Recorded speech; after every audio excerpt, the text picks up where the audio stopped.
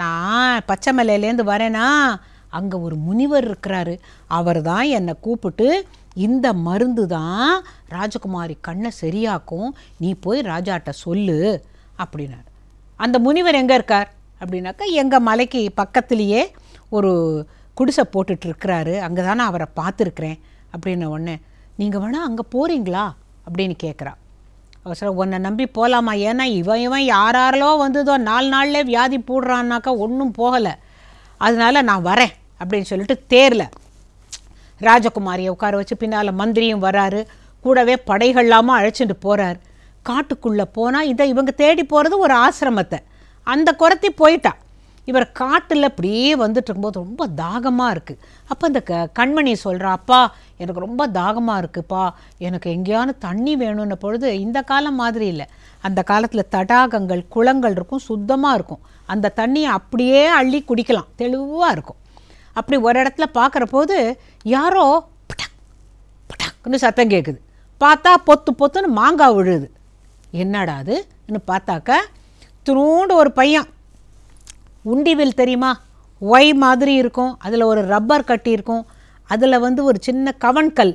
அதை வச்சு நல்லா அப்படி இழுத்து குறி பார்த்து அப்படி அப்படி அடிச்சிங்கன்னா எங்கே அடிக்கணுமோ அடிச்சிடலாம். அது ஒரு கெட்டிக்காரத்தனம். உண்டிவில் அடிக்கிறதுங்கிறது ஒரு பெரிய அதுவும் ஒரு கண்ணை மூடிக்கிட்டு பார்த்து பிரமாதமாக அடிக்கலாம். அப்படி ஒரு பையன் இந்த மாமரத்தெல்லாம் பார்த்து இப்படி இப்படி பார்க்குறான் அப்படி பார்க்குறான் டொப்பு டொப்புன்னு காய் விழுது. ராஜகுமாரி ஓடி போய் மாங்காய் எடுத்துக்கிறா. அப்போ ராஜா சொல்கிறார் யார்ப்பா நீ? இங்கே வா அப்படின்னோடனே என் பேர் கண்ணப்பன். நான் இந்த காட்டில் தான் வசிக்கிறேன். நான் என்னோடய பாட்டியோடு இருக்கேன். எங்கே இருக்குது உங்கள் வீடு? என்னப்படுதோ அந்த ஆசிரமம் மாதிரி இருக்க ஒரு குடிசை. ஓ அப்போ முனிவர்னு சொன்னாலே அவ. இல்லை எங்கள் வீட்டுக்கு அப்பப்போ ஒரு முனிவர் வருவார்.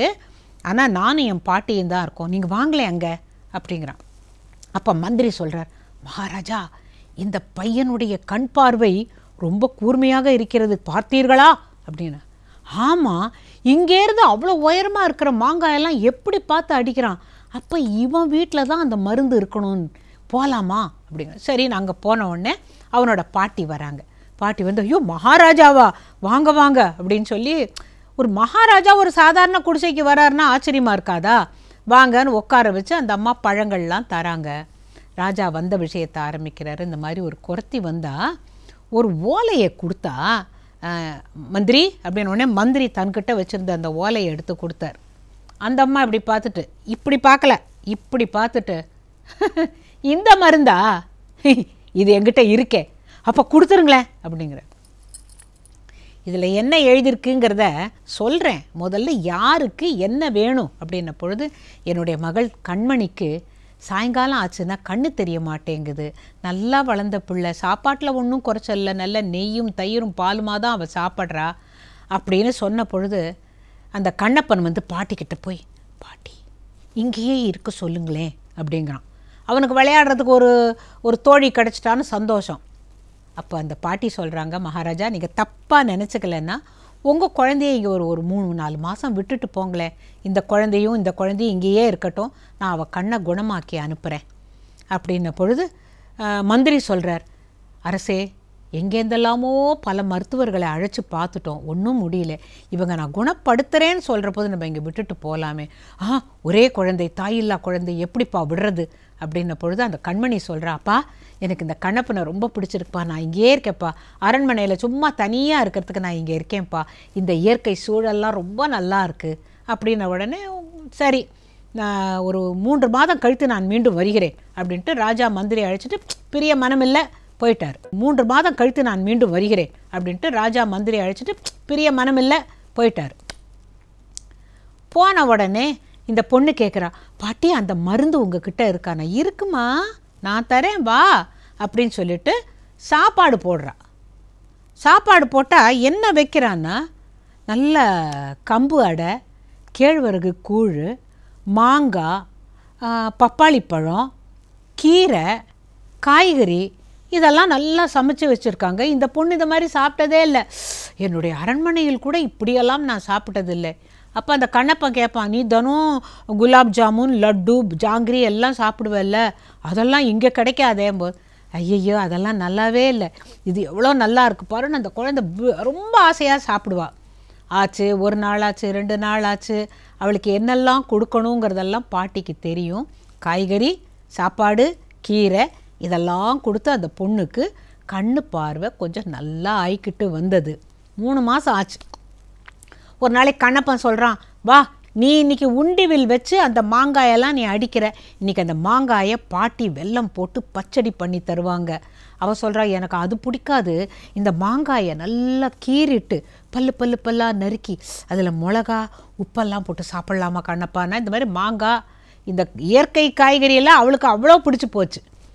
அவளும் அப்படி அப்படி எடுத்து அடிச்சுக்கிட்டு இருக்கா அப்பாவுடைய தேர் வருது. ராஜாவுடைய தேர் வந்தவுடனே அப்பான்னு ஓடி போய் கட்டிப்பா. கண்மணி நீயா அந்த மாங்காயை குறி பார்த்து அடிச்சா இப்போ? ஆமாம் அப்படின்னா உனக்கு கண்ணு நல்லா தெரியுதா? அப்படின்னு உடனே மந்திரிக்கும் ராஜாக்கும் ஒரே சந்தோஷம். ஆமாம்ப்பா எனக்கு இப்போ நல்லா கண்ணு தெரியுது. சாயங்கால வேளையில் கூட கண்ணு தெரியுதுப்பா அப்படின்ன உடனே அந்த பாட்டி பாட்டி இல்லைப்பா தெய்வம் அப்படின்னு சொல்லிட்டு வரும்போது பாட்டி வெளியில் வராங்க. வாங்க மகாராஜா குழந்தை எப்படி இருக்கா பார்த்தீங்களா அப்படின்னு கேட்ட பொழுது அவர் சொன்னார் அம்மா நான் எதிர்பார்க்கவே இல்லை. அந்த நாலு புள்ளியே எனக்கு இன்னும் ஒன்றும் புரியல. நான் மண்டையை குடஞ்சிக்கிட்டு இருக்கேன் அப்படின்ன பொழுது அது ஒன்றுமே இல்லை. அதுலேருந்து இந்த நாலு புள்ளி இல்லை. நல்லா கவனித்து பாருங்க. பானா கீயன்னா பானா பாவண்ணான்னு எழுதியிருக்கு. அப்படின்னா பச்சை கீரையால் பளிச்சிடும் பார்வை. இந்த ராஜா சொல்லி பார்க்குறார் பானா கீயண்ணா பானா பாவண்ணா பச்சை கீரையால் பளிச்சிடும் பார்வை. அப்போ இந்த கண்மணிக்கு இங்கே ஆமாப்பா நிறைய அரைக்கீரை முளைக்கீரை சிறுகீரை எத்தனை கீரை இருக்குது நம்ம நாட்டில்? நம்ம நாட்டில் இல்லாத கீரையா? அழகாக கீரையை பறித்து தினம் அவளுக்கு கொடுத்தேன். ஒரு ஒரு நாளைக்கு ஒரு ஒரு மாதிரி கீரை அவள் ரொம்ப ரசித்து சாப்பிட்டா. மாங்காய் பப்பாளி பழம் இதில் எதெல்லாம் மஞ்சளாக இருக்கோ அதிலெல்லாம் விட்டமின் ஏ இருக்குது அப்படின்னா பாட்டி என்ன இங்கிலீஷ்லலாம் சொல்கிறாங்கன்னு கண்ணுக்கு வேண்டிய சக்திங்கிறதுக்காக நான் உங்களுக்கு அதை விட்டமின் ஏன்னு சொல்கிறேன் கண்ணுக்கு வேண்டிய சக்தி எல்லாம் பச்சை காய்கறிகளில் இருக்குது கீரைகளில் இருக்குது அதை தான் உன் பொண்ணுக்கு தொடர்ந்து கொடுத்தேன். அவளுக்கு இந்த சாப்பாடும் ரொம்ப பிடிச்சதுன்னு ஒன்று அந்த ராஜா ரொம்ப உணர்ச்சி வசப்பட்டு இன்று முதல் என்னுடைய கிரிப்பட்டினம் கீரைப்பட்டினம் என்று மாற்றிவிட்டேன். உங்களுக்கு என் ராஜ்யத்தில் பாதி அப்படின்ன போது அந்த பாட்டி சொல்கிறா நான் ராஜ்யத்தை வச்சுக்கிட்டு என்ன பண்ண போகிறேன் ஒரே ஒரு விண்ணப்பம் மகாராஜா. இந்த குழந்தைய உங்களோட அரண்மனைக்கு அழைச்சிட்டு போய் யாரை? என்னுடைய பேரனை அழைச்சிக்கிட்டு போய் அவனை நல்லா படிக்க வச்சு உங்களுடைய அரண்மனையில் அவனை தளபதி ஆக்கணும். அப்படின்ன பொழுது ஆம் எதிரிகளெல்லாம் அவன் உண்டி வில்லாலேயே அடித்து விடுவான் அப்படின்னு ராஜா ஒரு ஜோக் அடித்தார் சந்தோஷம் அந்த பையனுக்கு சந்தோஷம்.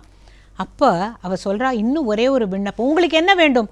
வேறு என்ன வேண்டும் தாயே? அப்படின்னு கேட்ட பொழுது உங்கள் நாட்டில் ஒரு சட்டம் போடுறீங்களா? எல்லார் வீட்லேயும் ஒரு கீரை பாத்தி இருக்கணும். ஒரு முருங்கை மரம் இருக்கணும். ஒரு அவத்திக்கீரை வைக்கணும். ஆக மொத்தம் எங்கேயோ போய் தேடாமல் வீட்டிலேயே கீரை பாத்தி இருந்ததுன்னா மாற்றி மாற்றி அவங்க எத்தனையோ கீரைகள் இருக்கே. அந்த மாதிரி கீரைகளெல்லாம் அவங்க சாப்பிட்டாங்கன்னா யாருக்கும் நோய் வராது. இந்த கண் குறைபாடு இல்லாமல் இருக்கலாம் ஐயா. என்னென்னைக்கும் அதுதான் உங்கள் பேர் சொல்லும். இந்த கிரிப்பட்டினம் கீரைப்பட்டினம் ஆனதை விட இது ரொம்ப முக்கியம்னு உடனே ஆமாம் பச்சை பச்சை கீரைகளாம் பார்வை தெளிவாய் வந்திடுமாம். பச்சை பச்சை கீரைகளாம் கண்கள் ஒளியும் பெற்றிடுமாம். அப்படின்னு கண்ணப்பனும் இந்த கண்மணியும் பாட மகாராஜாவும் மந்திரியும் கூடவே சேர்ந்து கோரஸ் பாட பாட்டி கைத்தட்ட அந்த சீனை நான் இப்போ அப்படியே என் கண் முன்னால் பார்க்குறேன் உங்களுக்கு கதையெல்லாம் புரிஞ்சுதா? கண்ணு முன்னால் சீன் தெரிஞ்சுதா? முதல்ல போய் இன்றைக்கி சமையலுக்கு கீரை. போங்க. வைணவ பரிபாஷையில் பாயசத்துக்கு என்ன தெரியுமா சொல்லுவாங்க? திருக்கண்ணல் அமுது. ரொம்ப பேர் அது திருக்கண்ணன் அமுது அப்படிங்கிறாங்க. கண்ணனுக்கு படைக்கிறதுனால. இல்லை இல்லை. திருக்கண்ணல் அமுது. கண்ணல்னா கரும்பு. கரும்புலேருந்து செய்யப்படுகிற அக்காரக்கனி. சுவாமியே அக்காரக்கனின்னு சொல்லுவோம் அக்காரக்கனின்னா வெல்லம். என் வெள்ளக்கட்டியே அப்படின்னு சொல்கிற மாதிரி இந்த திருக்கண்ணல் அமுது. கரும்பிலிருந்து செய்கின்ற அந்த வெல்லத்தை போட்டு செய்கின்ற பாயசம் திருக்கண்ணல் அமுது. இன்னைக்கு பழக்கத்தில் திருக்கண்ணமுது திருக்கண்ணமுது என்ன அப்படின்னு வந்துடுது ஆக மொத்தம் வைஷ்ணவ பரிபாஷையில் ஒரு ஒரு சமையலுக்கும் அவங்க சொல்லியிருக்கிறது ரொம்ப அழகு. இந்த பித்தலாட்டம்ங்கிற வார்த்தை கேட்ட உடனே பல வருஷங்களுக்கு முன்னால் ரேடியோ சிலோனில் சீர்காழி கோவிந்தராஜன் அவர்கள் பாடின ஒரு பாட்டு நினைவுக்கு வருது. நீங்கள்லாம் யாருமே அப்போ பிறந்திருக்க மாட்டீங்கன்னு நான் நினைக்கிறேன். ஆட்டத்தில் சிறந்தது பித்தலாட்டம். எந்த நாட்டிலும் இல்லை இது போல் கூட்டம். ஆட்டத்தில் சிறந்தது பித்தலாட்டம். அப்படி ஒரு ஆட்டம் இருக்கு பாருங்களேன்.